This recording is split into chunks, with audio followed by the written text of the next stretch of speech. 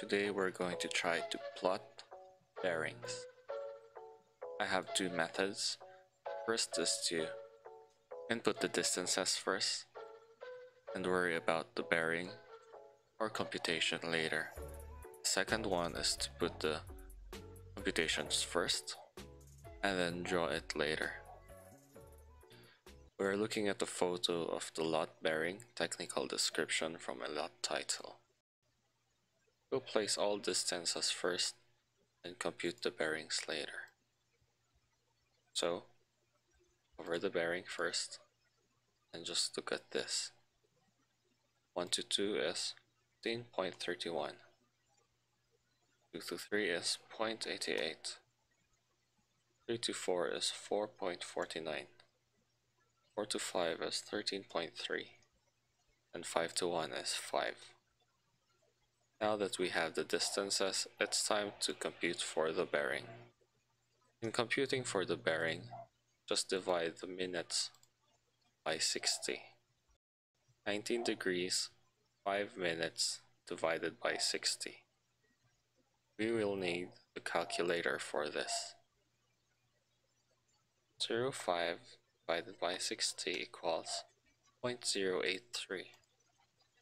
So this becomes 19.083. The first letter says north, which means to say this is facing north. The second letter says west, which means this has to go 19 degrees, 0.083 towards the west. There we have our first line. We'd label this number 1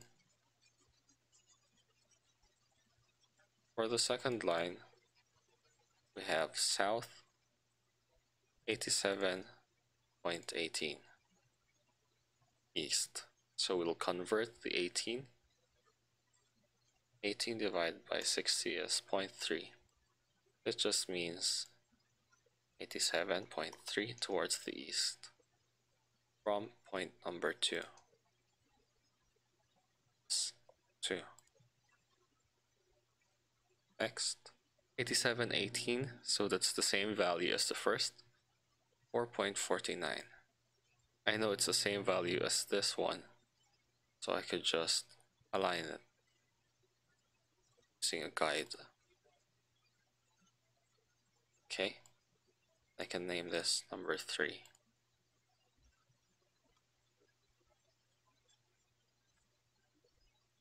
We have 4 to 5 1908 1330. So this is facing south. 08 is 8 divided by 60, which is 0.133 towards the east. 19.133. Right.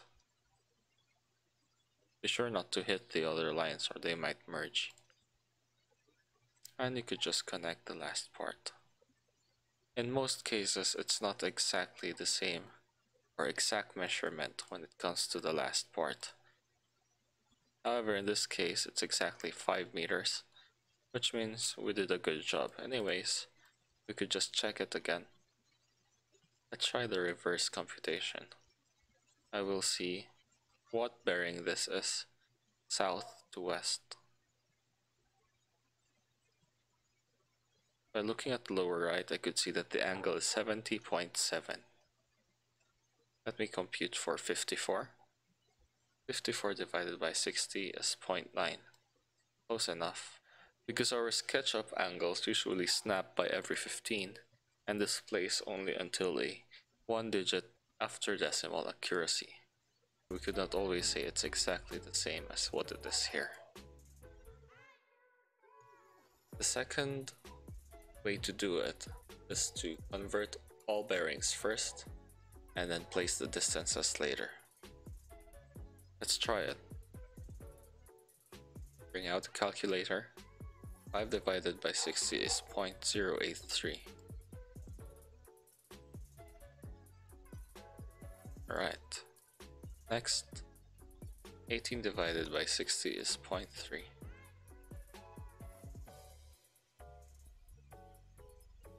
Same with down here. 8 divided by 60 is 0.133. And lastly, 54 divided by 60 is 0.9.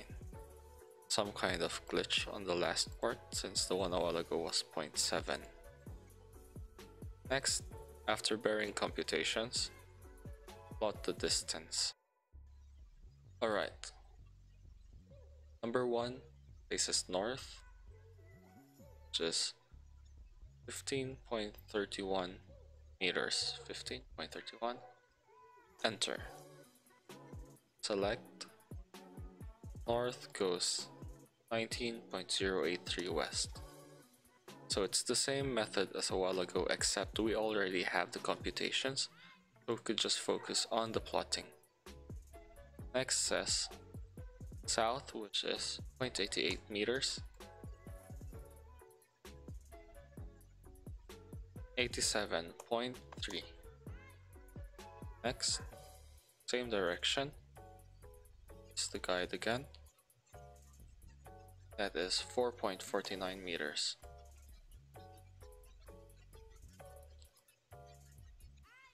Next we have number 4 to 5 which is 13.3 south 19.133 east.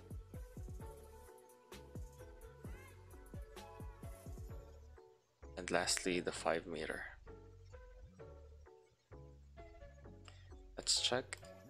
This is 70.9 5 meters. 70.9. See, that's a small discrepancy. Anyways, so most of the time, we just enclose the last one, but we have to indicate in the plan more or less our adjustments. It's supposed to be 5. Once you have everything done, put 1 and 2, you could finally label them. Where the road is, square meter area is, what are the surrounding lots. That's how to plot in SketchUp. Thank you.